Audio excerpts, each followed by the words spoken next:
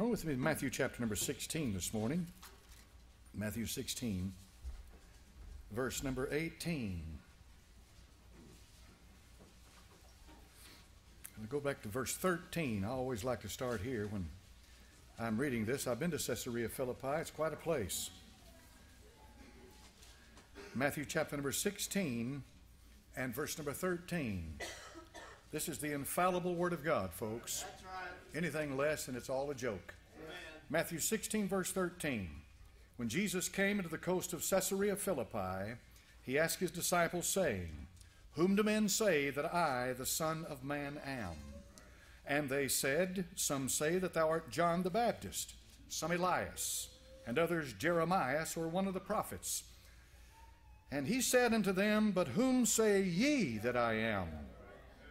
And Simon Peter answered and said, Thou art the Christ, the Son of the living God. Jesus answered and said unto him, Blessed art thou, Simon Bar Jonah, for flesh and blood hath not revealed it unto thee, but my Father which is in heaven.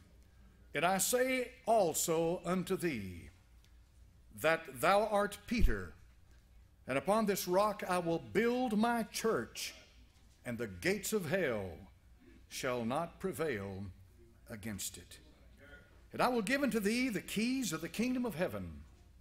And whatsoever thou shalt bind on earth shall be bound in heaven. And whatsoever thou shalt loose on earth shall be loosed in heaven. Father, bless this holy book now and give me unction to preach it. In thy name I pray. Amen.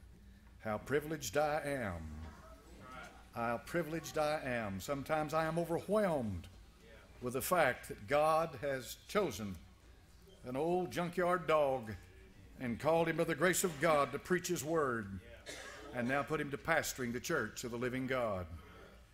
How gracious he is. He is the builder of his church in Matthew 16, verse 18. He said, Upon this rock I will build my church. The Greek word translated church is ecclesia. And the word ecclesia means an assembly that's called out. It could be a drunken mob in the street, or it could be the assembly of the firstborn. That, of course, is who we are. We're members of the church of the firstborn.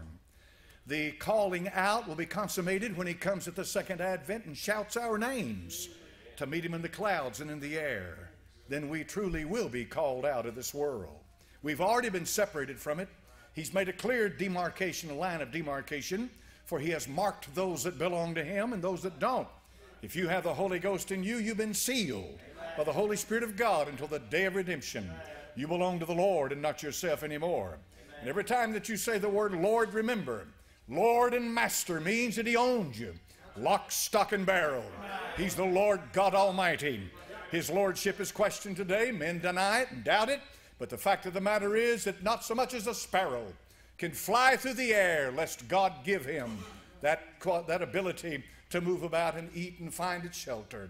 He's the Lord in the sense that He upholds all things by the word of His power. And my friend, if He's your Lord this morning, then you know your purpose in life, you know why you're here, and you know where you're going. He's the Lord. He said, Why call ye me Lord, Lord, and do not the things that I say? You won't fool God with lip service. I know you probably charm all the people around you, but you'll never charm God. He seeks the inward man, he looks at the inward parts, and as David cried out in Psalm chapter number 51, Thou knowest the inward parts, and he does know what makes us tick and all about it.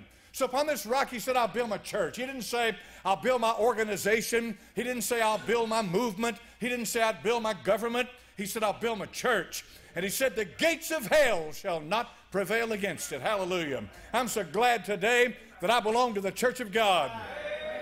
And I'm glad today, folks, that regardless of how men feel about me and what happens to me in this world, you can't get me out of it. Amen. Hallelujah. Because you didn't put me in there. God Almighty, by His Holy Ghost, did that. For by one Spirit are we all baptized into one body. That one body that Paul talks about in Ephesians 4. One church, one faith, one baptism, one body.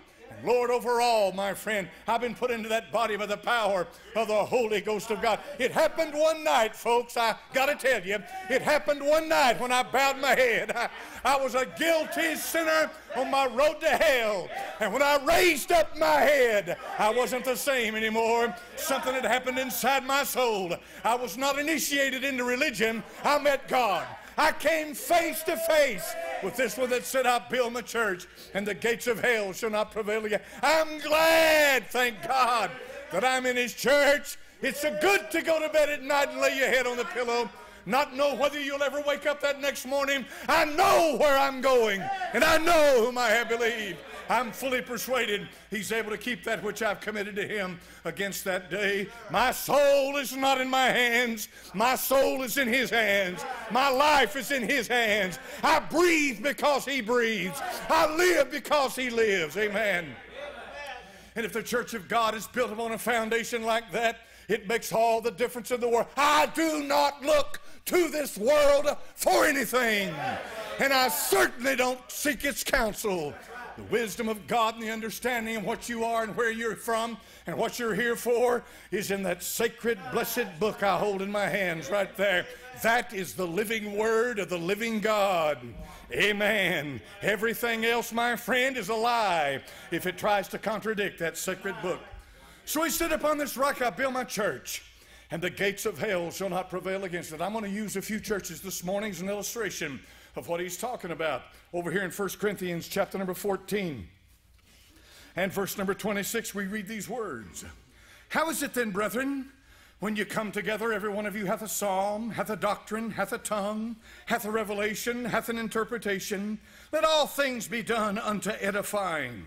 Now you know who he's talking about. He's talking about the church at corinth the church at Corinth was filled with people who wanted spiritual things. They were so hungry for spiritual things, uh, but you won't find one place where they were ever hungry for God. My friend, don't you think that's quite a thing? They wanted gifts because, as, uh, as Simon Magus in the book of Acts, give me this gift that I might buy it that I might be able to do this or do that. In other words, manipulate by my own power. And so in the book of uh, 1 Corinthians, the Apostle Paul told him in 1 Corinthians 12, he said, Seek ye earnestly the best gifts. But let me explain to you what's going on about the gifts. The church at Corinth was full of confusion.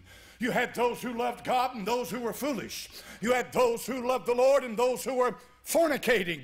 You had those who sincerely sought the face of God, and but you had many, many, many, many, many who were so selfish in the book of 1 Corinthians, chapter number one, he said, Some of you say I'm a Paul. Some of you say I'm of Cephas. Some of you say I'm of Apollos. Some of you say I'm of Christ. He said, What is it that's going on with you? You have set yourself up as, as, as, as dictators inside the church.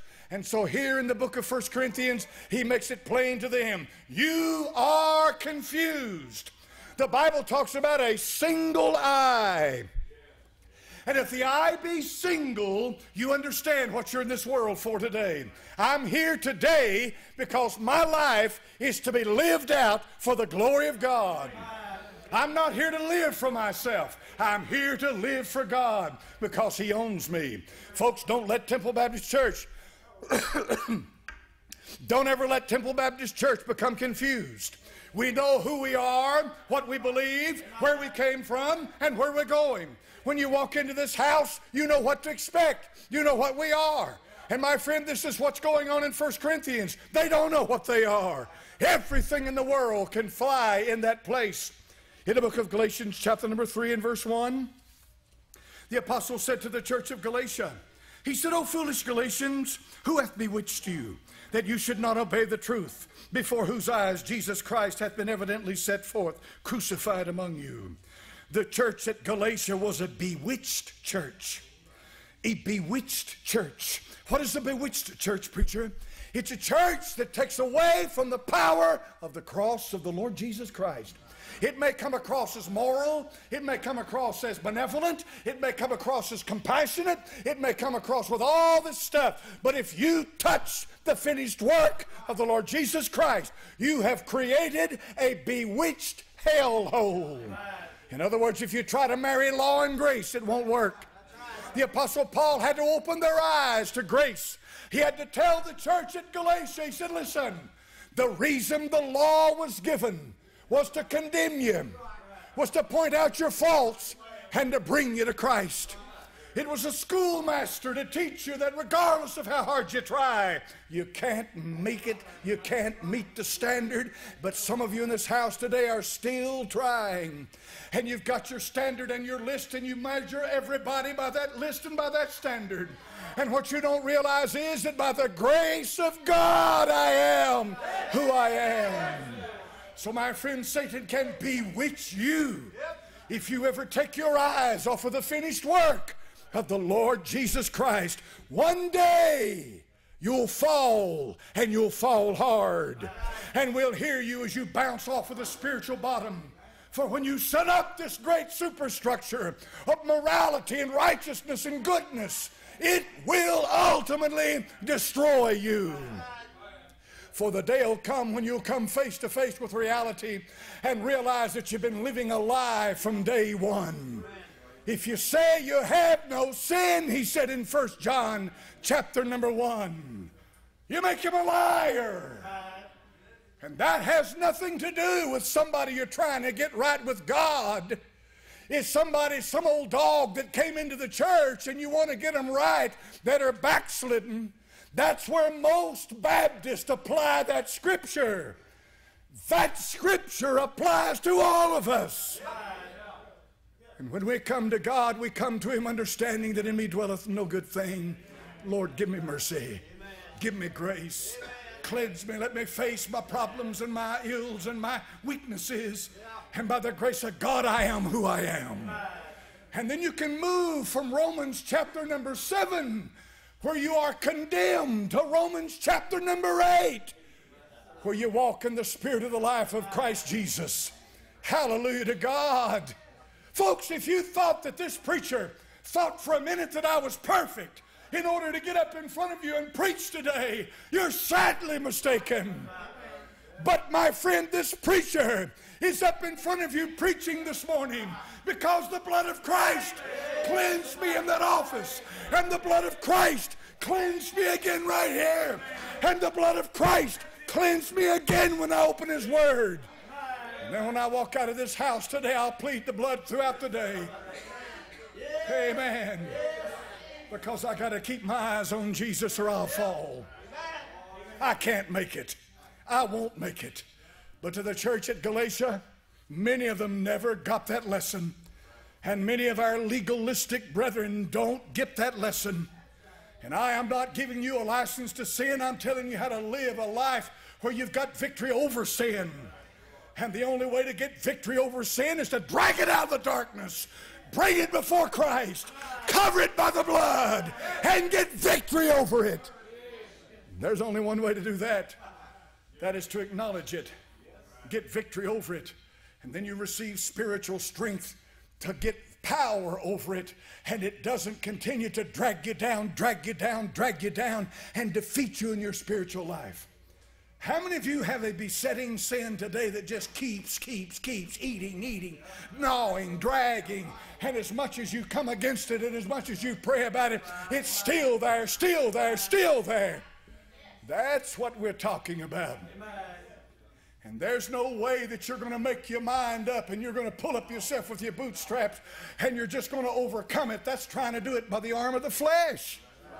The only way you'll ever overcome that besetting sin is acknowledge it and bring it into the light of Christ and cover it by the blood.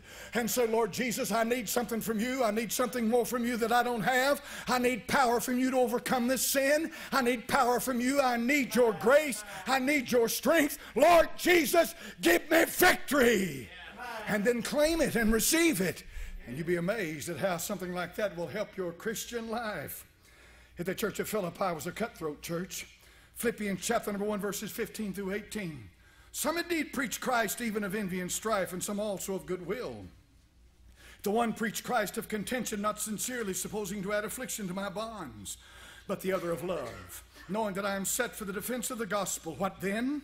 Notwithstanding every way, whether in pretense or in truth, Christ is preached, and I therein do rejoice, yea, and will rejoice. The Apostle Paul said to the church at Philippi, Some suppose to add affliction to my bonds. What a wicked motive. The motive behind will be the judgment at the judgment seat of Christ. This church at Philippi had some real deep seated problems.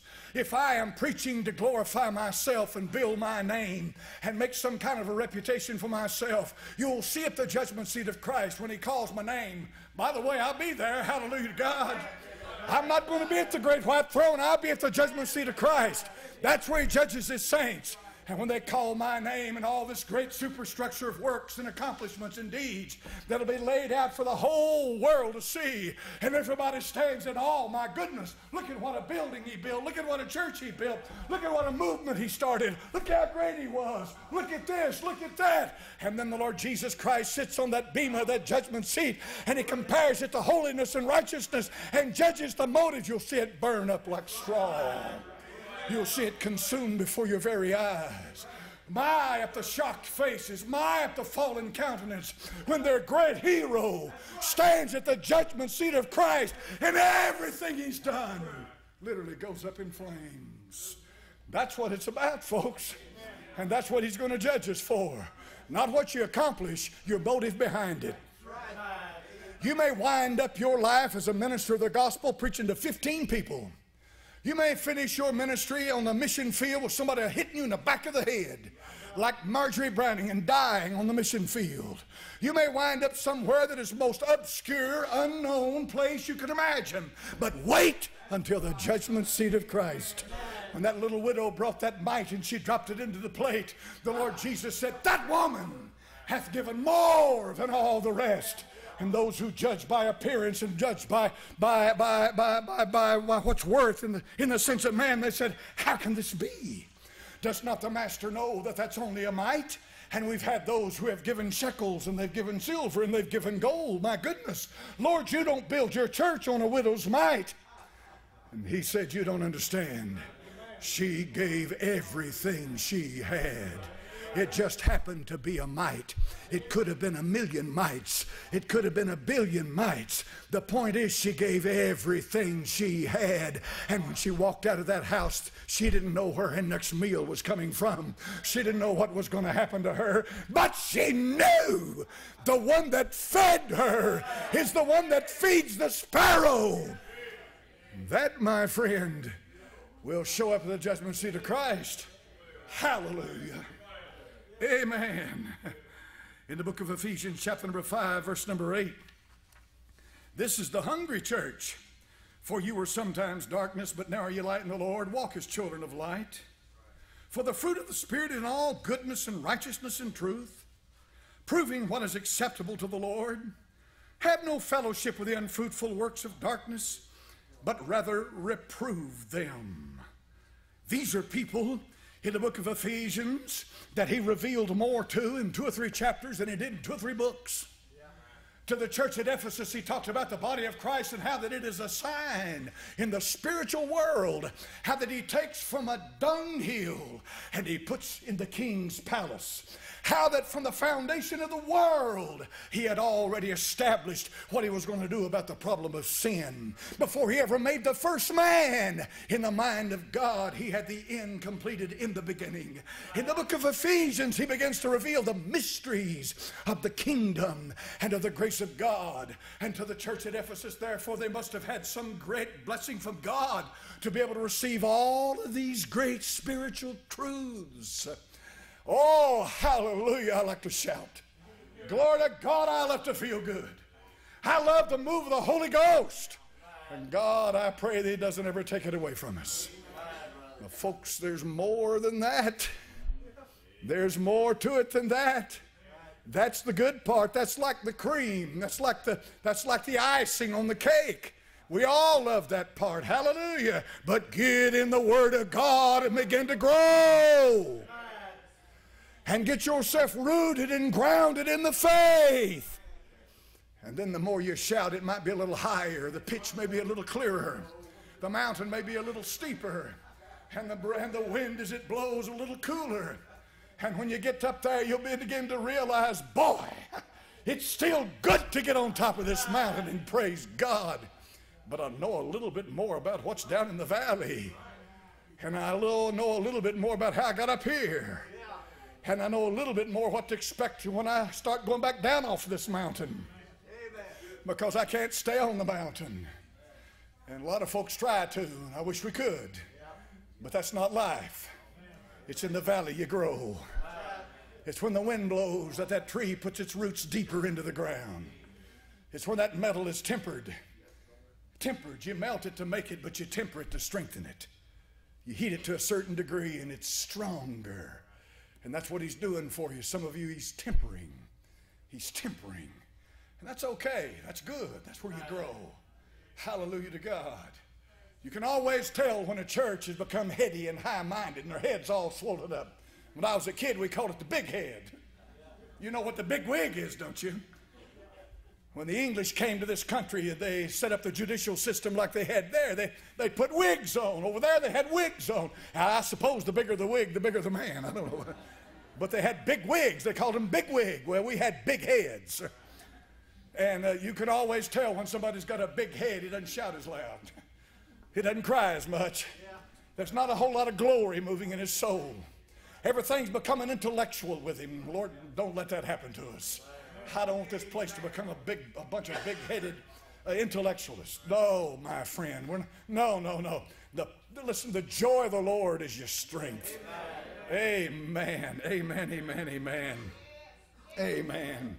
Now in Colossians chapter number 2 and verse 18, he said, Let no man beguile you of your reward in a voluntary humility and worshiping of angels, intruding into those things which he hath not seen, vainly puffed up by his fleshly mind. This is the New Age church. What do you mean, New Age? They worship angels. The churches are New Age today, full of New Age churches. And you know, I've never, I, I don't know what, what it is. I don't understand what's going on so much here, but the more, the more light we get in this place, the better it is, as far as I'm concerned. It'd be all right if we opened up the roof right there, just had a big thing pulled back and the sun would shine in. Hallelujah. Amen. Men love darkness rather than light because their deeds were evil. You ever notice a lot of these churches you go into how dark they are? You ever noticed it? It's dark, stumbling around. You can't see 15 feet. And all the focus is on whoever's standing up here. They've got some light focused on it, but everything else is dark. You ever notice a witch's coven? You ever, you ever seen photographs of a witch's coven? It's not the sun shining in there. It's dark. It's lit up with a bunch of candles, and they've got this and they've got that in there but they don't want any light. I love light. I love light in my soul. I love light. Amen. If you're going to grow anything, you better have some light. Amen. You can't grow anything in darkness except mold. New Age churches are full of darkness. And then finally, there's this one in 1 Thessalonians 1.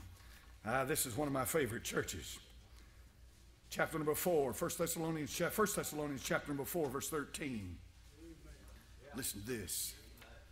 I would not have you to be ignorant, brethren, concerning them which are asleep. I don't know if you know this or not. One of the biggest cemeteries in this town right here within a stone's throw of us. Some of you don't know that. Just walk out in the field, walk out there right now, to, especially too in the wintertime before all everything blooms, and just look out through there. And I've been into that graveyard, Lord, I don't know how many times. I have no idea. Many, many times I've been in that graveyard and had, and had uh, funeral services, been out there. And I know a lot of those, uh, a lot of the people, their bodies, I know, I know where they are. My goodness, I could spend a week, I guess, if I just went from one graveyard to the next, to the places I've been, places that didn't even know exist. There are graveyards around here, folks, that, you, that people don't even know exist. I know of one graveyard, if you get on John Sevier Highway and start driving down it, it's up on the top of a hill, sits back, there's no markers anywhere, but they've they've got graves up there that date back to the Revolutionary War. There's graves everywhere. God knows where every one of them is. He knows they don't make any difference if there's a mark on it or not. He knows where they are. He knows them. He knows his home. He knows them. And the Bible said, I would not have you to be ignorant, brethren, concerning them which are asleep. So the Lord wants to tell us something about those that have gone home. How many have gone on just in the last few months, in the last two or three years? How many folks have we got in this house today that are widows, that have lost husbands and wives and children? There's at the end of that pew down through there somewhere it says Betty Dawn. Most of, how many of you know who Betty Dawn is? All right, good, about half. Betty Dawn was a precious young woman. She had Friedreich's ataxia. That's something like muscular uh, uh, uh, sclerosis. It was a debilitating, wasting away disease of her muscular structure in her body. And when she came to us, she was, she was already advanced in it. But the day came when Betty Dawn died. And she no longer sat here on the end of the pew. She was gone from us. We took her out in Sevier County, and I remember the graveyard. It's on the right hand side of the road. I remember going down there and putting her little body in the ground. I remember when Betty Dawn left this old world, not to come back anymore to this world the way it is right now. But God knows where that grave is. He knows exactly where it is. Exactly. And the Bible says the day is going to come when the heavens roll back like a scroll. The Bible said heaven shall be opened, and he was coming will be on a white horse. A white horse, he's coming in power and glory. He's, the Apostle Paul gives you the second advent in 1 Thessalonians 4. I want you to notice what he says here in 1 Thessalonians chapter number 4. Look at chapter number 1 and verse number 10. In 1 Thessalonians 1 10, he said to wait for his son from heaven, whom he raised from the dead, even Jesus, which delivered us from the wrath to come. 1 Thessalonians 2:19 For what is our hope or our rejoicing or crown of rejoicing? Are not even ye in the presence of our Lord Jesus Christ at his coming? Would look at chapter number 3 and verse 13. To the end he may establish your hearts unblameable in holiness before God. Even our Father at the coming of our Lord Jesus Christ with all his saints. Have you noticed a pattern? Chapter number 4 and verse 16.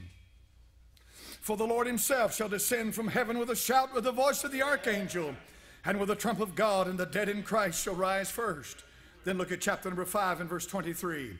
And the very God of peace sanctify you wholly, and I pray God your whole spirit and soul and body be preserved blameless unto the coming of our Lord Jesus Christ. There's not another book in the whole Bible laid out like this. Every single chapter in First Thessalonians makes a reference to the second coming of the Lord Jesus Christ. Every one of them. And we have every reason to believe that the book of First Thessalonians was the first book written in the canon of Scripture. Before many Christians ever saw Matthew, Mark, Luke, and John, they saw First Thessalonians. Before long before they ever saw the book of Revelation, they saw First Thessalonians. And the burden of First Thessalonians is the second coming of the Lord Jesus Christ. He wanted the early church to understand that in the mind of God, the most important thing is the fact that He said, I will come again and receive you into myself, that where I am, there you may be also. He's coming again. He's coming again. M.R. DeHaan's grave said, maybe today, maybe today, maybe today. M.R. DeHaan was a physician, got saved, and he when he got saved, he dropped being a, a, a, a doctor and he picked up preaching of the Word of God. He's the one who wrote the book about the blood, the chemistry of the blood. You ought to read it sometime. It's an amazing book. The Chemistry of the Blood, M.R. DeHaan. And on his tombstone it says, maybe today, maybe today. He was one of those old saints that got up every day, every morning, looked outside, and said, maybe today all my troubles will be over. Maybe today I won't hurt anymore. Maybe today I'll never go to a graveyard again. Maybe today my life on this earth will just be a vapor that is now come and gone. I'll be with Jesus. He's going to come and receive us. He said in John 14, Let not your heart be troubled. You believe in God, believe also in me. For my Father's house are many mansions. If it were not so, I would have told you. I go to prepare a place for you. And if I go and prepare a place for you, I will come again to receive you unto myself. Thomas saith unto him, Lord, we know not whither thou goest, and how can we know the way? Jesus gave that great statement, that powerful statement about all what we are as Christians.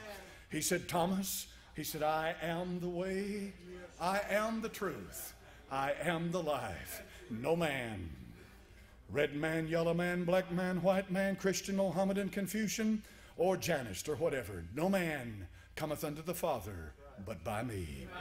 The Lord Jesus Christ is the gate, the door to heaven. There is no other way. The Apostle Peter in the book of Acts says that we're going to get up and we're going to preach this. Neither is there salvation in any other. For there's no other name given under heaven whereby we must be saved but the name of our Lord Jesus Christ. I'm so glad, thanks be unto God today, that I'm a Christian believer. I thank God today that I've got a holy Bible in front of me. I thank God today that I'm not going to hell, that I know the truth, I know the way, I know the life, I know the Lord Jesus Christ. And I thank God today that I've got that blessed hope inside my soul, as he said to Titus, looking for that blessed hope and glorious appearing of our great God and Savior. Amen. I'm looking for him to come again. Let me spell out eschatology for just a moment with you this morning because there's so much confusion in the church today. The second advent, first advent of Christ is a past event. It's finished. He came the first time. He came the first time. Only a fool would deny that Christ was here on this earth. But he's coming again. That's where the controversy arises. The Lord Jesus Christ revealed mysteries to the Apostle Paul. He revealed mystery after mystery after mystery as it pertained to the body of Christ. And here's one of the mysteries he revealed to him. He said, I show you a mystery. We shall not all sleep, but we shall be changed in a moment. This mystery he's talking about is when he comes to catch up his bride to meet him in the clouds. We'll not die, he said. We'll be changed in a moment, in the twinkling of an eye. We call it the rapture. The rapture and the revelation make up the two main parts of the second coming of the Lord Jesus Christ. But the rapture itself is in two parts, and this is where the problem comes in. When he comes to catch up his bride to meet him in the clouds, that's you, that's me. When does that happen, preacher? It happen any moment. But I thought the gospel had to be pre- no, it had to be preached anywhere. There's no signs that have to precede the rapture. He could come at any moment and catch us up to meet him in the clouds and in the air. But it's not over. That's just the beginning. For when we go into the tribulation period, we have tribulation saints, we have Jews, we got all this that's happening for seven years, the time of Jacob's trouble on this earth. There's another rapture that takes place during the tribulation period. That's the tribulation saints. So the rapture itself is in two parts. It is us, the first fruits, when we're caught up to meet him in the clouds, the church of the living God. Then during the tribulation period, there is a rapture of the saints of God. And it, in typology, it is in Revelation chapter number 11 when he says to the two witnesses, Come up hither. After their bodies have lain in the streets of Jerusalem for three days, he says, Come up hither. And they go up, and that's the time when the kingdoms of this world become the kingdoms of our Lord and of his Christ. And then the revelation. What's that, preacher? In Revelation chapter number 19, the Apostle John said, And I saw heaven open and behold, a white horse. And he that sat upon him was called faithful and true. Amen. And in righteousness he doth judge and make war. And the armies which were in heaven followed him on white horses, white and clean. They were dressed in robes, linen, and beauty and righteousness. And they come to make war.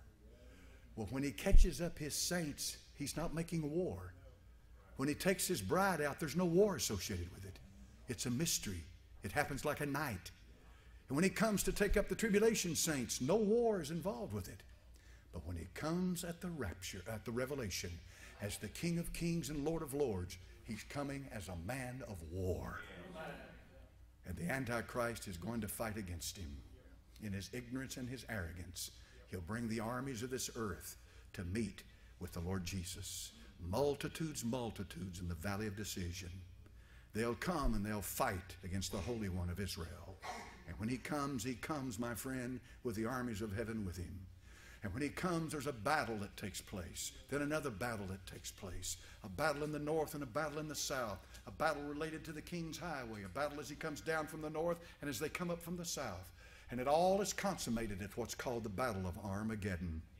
Armageddon is literally in Hebrew the mountain of Megiddo. Ar in Hebrew means mountain. Mountain of Megiddo. I've stood at, at Megiddo You've got 21 separate layers underneath your feet, 21 distinct buildings of civilizations that go back a long way. Generals have looked at Megiddo, at the plain of Esdraelon as it spreads itself out before you, and they've said that this is the most natural battlefield in the world, and it's a marvelous thing. From the Mediterranean Sea in the east, at the west rather, as you move all the way to the east, you've got this huge valley and it's all coming together at Megiddo. That's a marvelous thing. This is what everybody, when they talk about Armageddon, most folks don't have any real understanding of what they're saying when they say that. That's Armageddon. Armageddon is the valley, is the battle of at, at, the, at the mountain of Megiddo when the Lord Jesus Christ comes back and he comes against the armies of the Antichrist and they clash. Right? Guess who wins?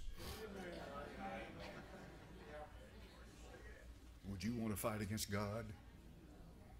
God Almighty. He's coming again. This might be my day. I may leave before the sun goes down naturally, as any, as any human being can leave. I don't know that. I don't know. I don't worry about my heart ticking. I get up here and preach like this, not worry a bit, a bit about my heart. I'd rather leave right now. I'd rather leave right now than to deny him, to turn against him, to apostatize, and go out in this world. I'd rather, I'd rather you see me drop behind this pulpit and I'm finished. Because make no mistake about it, you'll never bury me. I'm gone to be with him. I'm gone. You can have my body. I think it's worth about a dollar and a half, isn't it? Two dollars, something like that. It's not enough. It's not worth. It's not worth enough to bury. but you're welcome to it. I, can talk to my wife about it. She might make claim on it. Who knows? But uh, I'm gone. But wouldn't it be wonderful? Wouldn't it be wonderful? As I'm up here preaching to you and we're up here talking, we're in this building together, that I look at you and you look at me and we just disappear. Just, pow, gone. Wouldn't that be something? And be caught up with him in the clouds to meet the Lord in the air, and so shall we ever be with the Lord. Now listen, you don't go home biting your fingernails. You don't go home, uh, uh, what they call them, these people who are uh, the digging holes in the ground, prep, uh, preppies, what there's a term for them. Preppers, yeah. you're not worried about that because you know at any minute he could come and you're gone. That is if you're right. Are you right? Are you right? And I know many of, no doubt, many of you are. I mean, I feel the Holy Ghost in this house today. All are all of you right? Are you ready?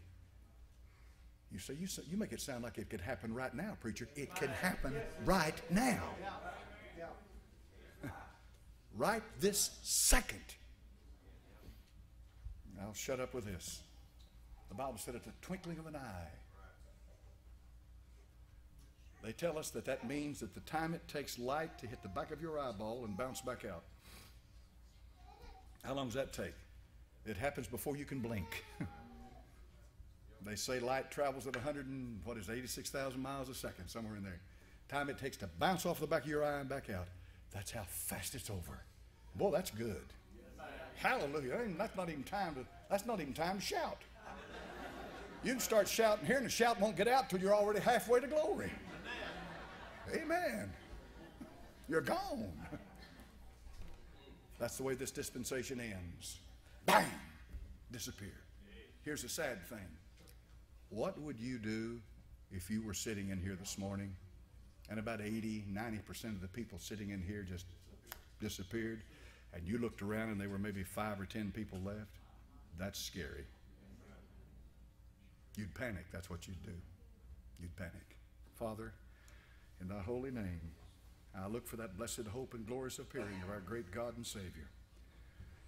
I long for that day, Lord. Jesus, even so come.